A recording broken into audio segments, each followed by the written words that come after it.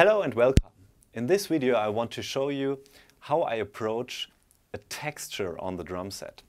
A different texture on the drum set will allow you to express yourself in a different way. What I'm using in this video is a stick and a brush. Um, I'm using not a normal brush, I'm using the live wires from Vic Firth because they are much louder when I'm sweeping. And it's not that difficult to play what I'm doing there. It's only the note length I'm giving there or some flex strokes.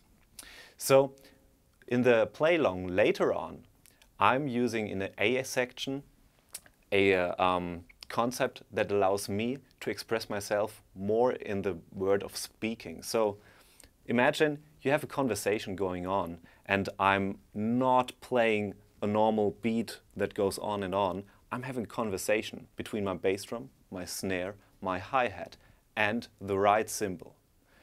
In the B section, there's something totally different. The play along by itself is more played in a ternary, ternary way there, and what I'm doing there is playing in a quintuplet feel.